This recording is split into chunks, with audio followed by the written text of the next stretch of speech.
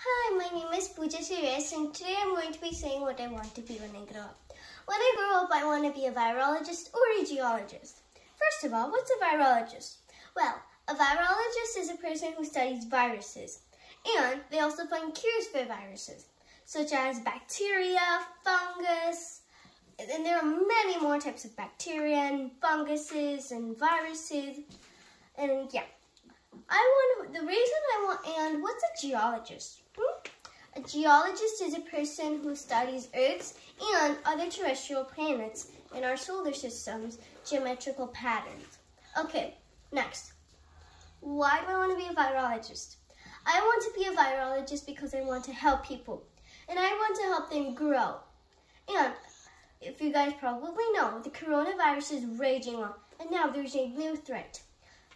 It came from another type of virus and the coronavirus combined together, they created a type of threat. Many, many scientists and virologists in the world are working to, are working to find cures and shots and many things.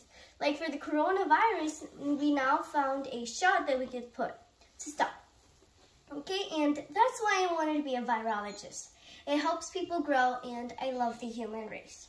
Next why do I want to be a geologist? Well, I want to be a geologist because geo because geologist has always been my nature.